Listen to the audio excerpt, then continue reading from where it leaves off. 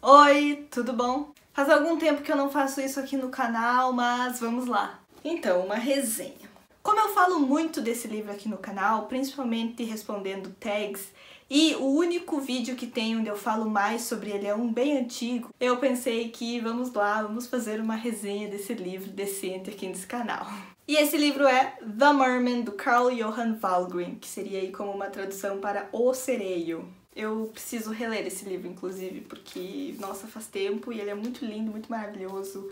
E eu tenho saudades dessa história, por mais triste que ela seja. Eu tenho uma coisa em ter livros tristes como favoritos, como por exemplo O Morro dos Ventos Uivantes, que é uma história desgraçada, mas que eu amo. Nós vamos acompanhar a história da Nella, que está passando aí por maus bocados. Ela passa por muito bullying na escola e principalmente porque ela se coloca no lugar do irmão para receber o bullying que é direcionado para ele. E assim, bullying é bullying, independente do que está acontecendo e como ele é feito.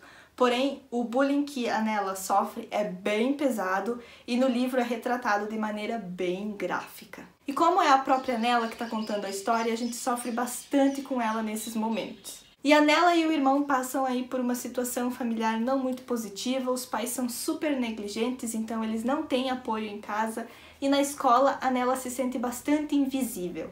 Então, as únicas pessoas positivas e que realmente dão apoio na vida da Nela são dois amigos que ela tem. Um que é um senhor mais de idade e um que é um menino da idade dela. Porém, esse amigo dela tem uns irmãos aí que são meio louquinhos, assim, e eles fazem parte aí de um grupo de pessoas também que são meio loucas e né, suspeitas. E é por causa dessas pessoas loucas que a Nela e o amigo vão entrar em contato aí com algumas coisas sobrenaturais. E aí, como sempre em histórias, né, vai começar a acontecer várias coisas. As duas coisas que me chamaram a atenção nesse livro, primeiramente, foi o título, porque eu achei muito interessante essa coisa assim, o sereio. Tipo, que isso? E aí, ao pegar o livro, atrás está escrito apenas um segredo sombrio pode salvá-los. E eu fiquei, como assim, gente?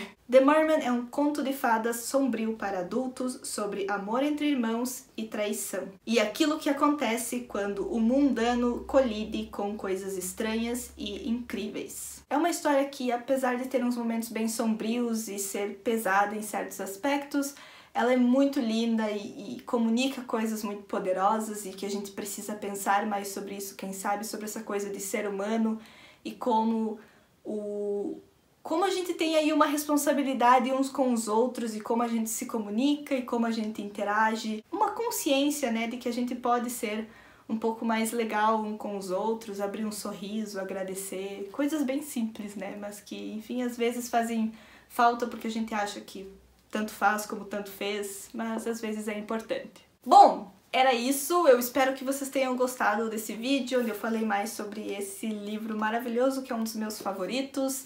Não se esqueçam de curtir o vídeo, de se inscrever aqui no Xícara Quente, caso vocês ainda não sejam inscritos, e eu vejo vocês em um próximo vídeo. Tchau!